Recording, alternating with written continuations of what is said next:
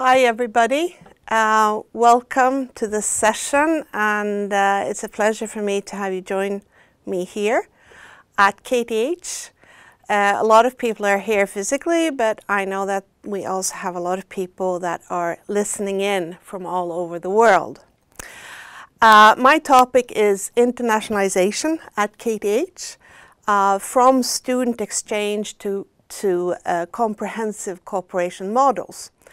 And uh, later on, the Vice President for Global Affairs will give a more strategic uh, perspective on, on the internationalization.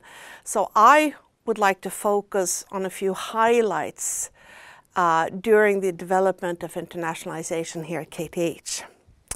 Uh, we have a professor, Ramon Wyss, the former vice president of internationalization, who has contributed a great deal to this presentation.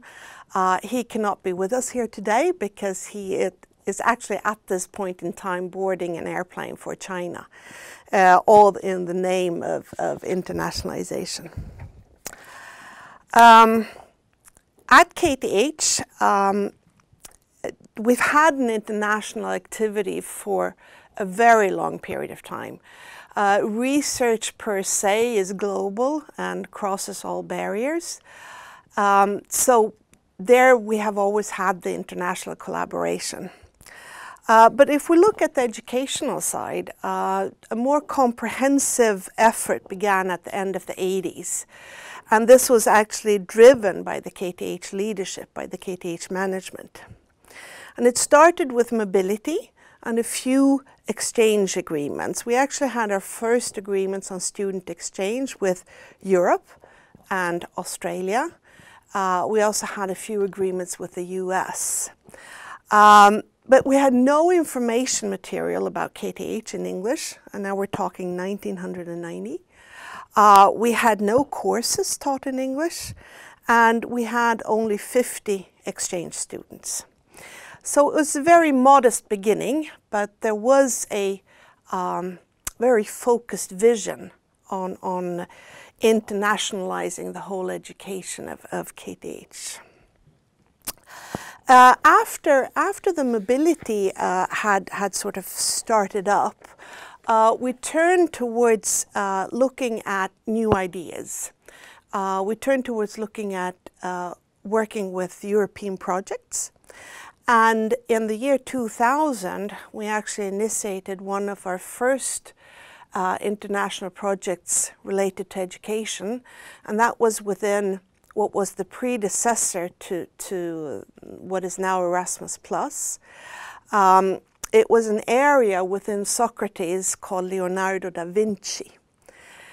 And um, a colleague of mine at another technical university, Blekinge uh, Institute of Technology, a, co that, a colleague there and, and I, we sat down one day and we talked about how internationalization needed to sort of penetrate the whole university. And we said that one of the one of the areas where we do not have a lot of internationalization is actually at administrative level. So so this project IQ uh, was actually um, put together to uh, bring home the, an understanding of internationalization to the administrative staff at our universities. And this idea was so new, so that there was actually no funding for that type of project at that time. But the EU Commission thought that this was such an interesting idea, so they set aside uh, a portion of funding for this, uh, for this project. And it was deemed to be such a success, so we were allowed to continue. And today, within Erasmus Plus, you have a whole funding area for staff mobility.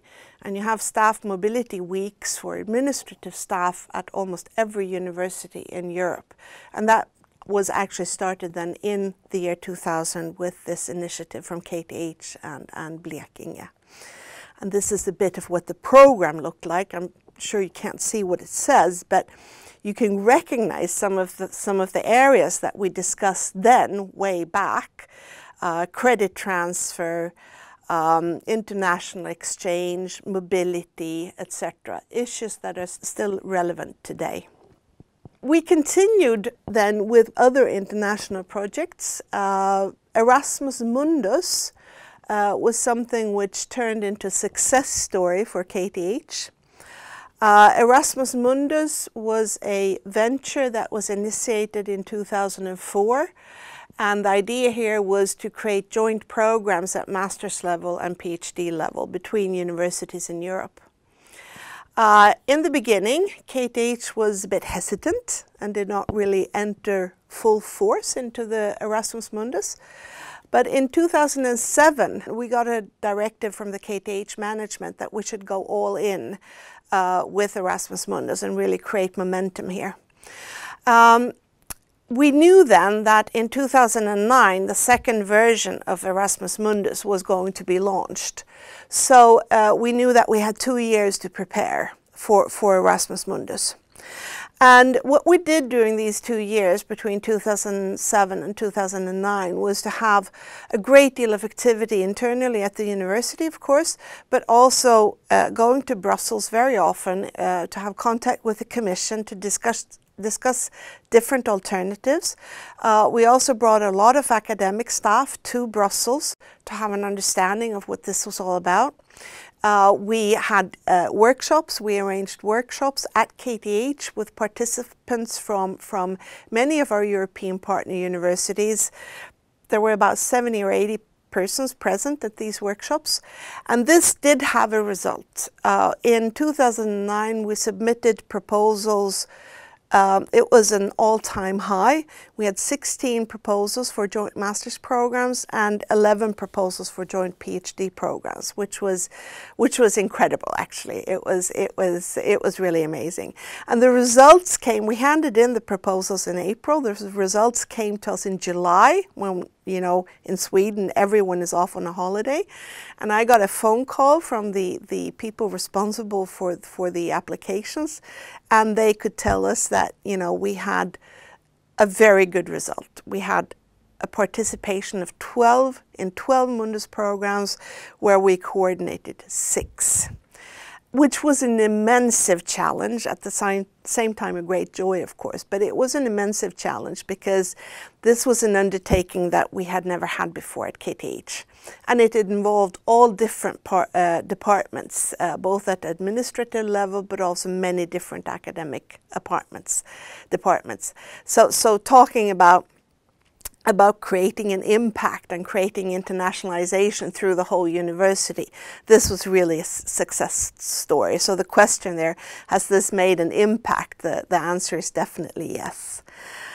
Um, I would also like to mention our international networks, our university networks. Uh, KTH has had a long history of collaborating with different networks, within different networks. We see this as a very strategic decision to, to participate in certain networks where we get to know our partners really well and where we can join forces where research and education is concerned. Cluster is one such network. Cluster is an old network. It was created already during the, during the late 80s and it, it has really been a success story uh, working within the cluster network. And sorry, I said late 80s. It was founded in 1990. I have my notes here, so keep it correct. Cluster consists of 12 universities of technology in Europe, and uh, Cluster has had uh, very many approaches to, to internationalization. Uh, KTH had the, the honor of, of having the Cluster presidency for four years between the years 2005 and 2009. This was at the same time when, when we entered into this Erasmus Mundus venture. And of course, many of our cluster partners were involved in the Mundus applications with us. Um, Cluster very early saw that it would be extremely interesting to participate in the European Institute of Innovation and, and Technology, the EIT. Uh, this is a major venture in Europe where we bring to together the knowledge triangle of business, education and research and form cross-border partnerships. Now in 2007 we got information from, from one of the advisors of President Barroso of the Commission that, that this, was, um, this was up and coming. So, so Cluster decided to apply to, to three uh, pre-proposals within the EIT, within transport, ICT and energy. And we were successful in two of these three, in transport and energy. And then we decided, or Cluster decided to have a concerted action where, where um, applications towards the real EIT was concerned.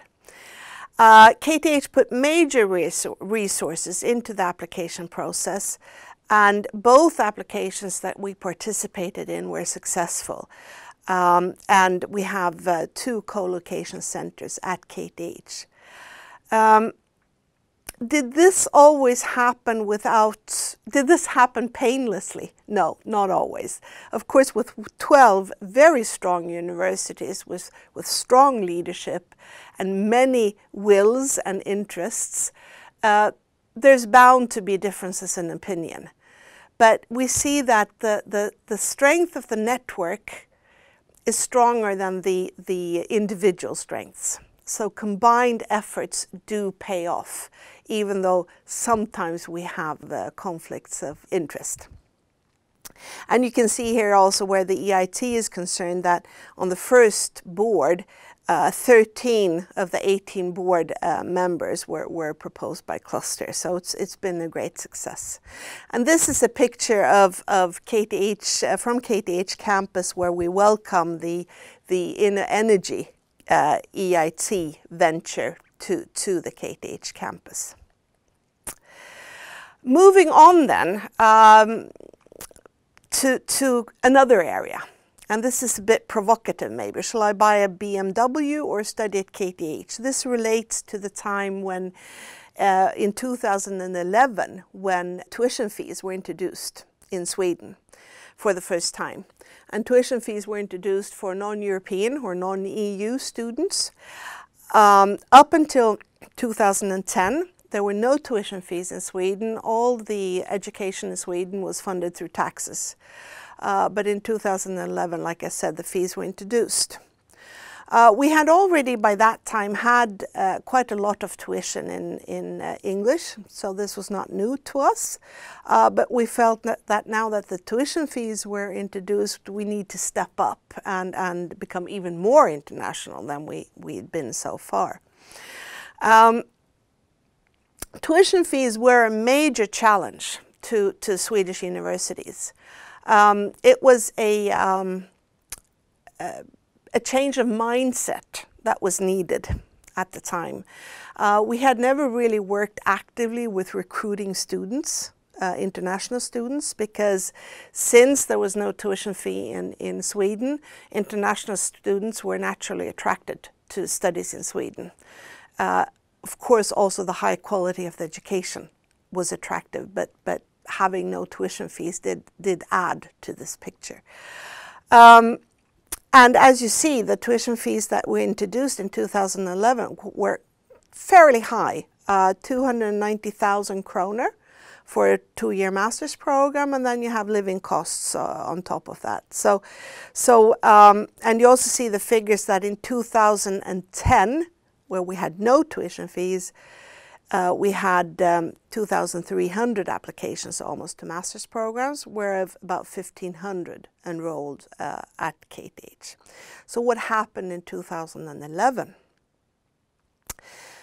As you can see, in 2011, the figures dropped dramatically. Uh, and uh, we did not have a lot of uh, fee-paying students that were applying to KTH. And this, of course, we had expected that it would be that way. And it was, it was a sign to us that we needed to step up our recruitment activities and we also needed to uh, see that the KTH brand was made visible uh, globally. And this has actually resulted in, in a major increase during the past few years of, of students, so that of international students. I would say now we are not quite, but almost back to where we were before the tuition fees were introduced. And we are, of course, extremely proud of that. And we are also very, very happy that the international students see the value of the education at KTH and even though we have the tuition fees, choose to study at this university. I'm coming to the end of my speech, but I would like to end with this picture because the heading here is each individual matters and has a story to tell.